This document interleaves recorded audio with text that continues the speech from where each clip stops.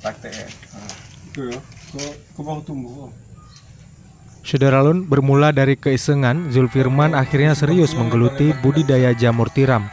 Memanfaatkan bagian samping rumah orang tuanya di desa Pulau Saro, Singkil, kini ia bahkan menjadi satu-satunya pemasok jamu tiram di Aceh Singkil.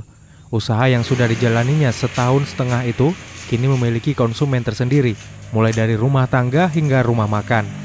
Pria berstatus sarjana hukum ini membandrol Rp30.000 untuk setiap jamur tiram dengan produksi perharinya 5 kg.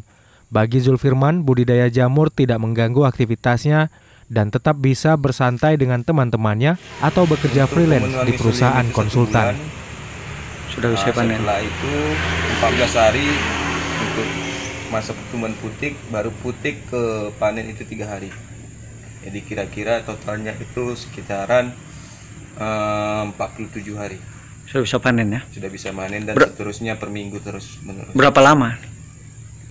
selama masa panennya satu backlog itu mencapai empat bulan dan dalam satu backlog itu bisa empat kali panen sampai lima kali panen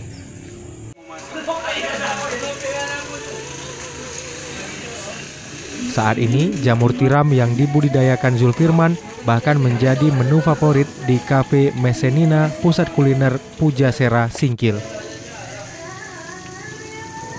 Jamur itu diolah menjadi jamur crispy dan menjadi cemilan sambil nongkrong menyaksikan live musik pada akhir pekan.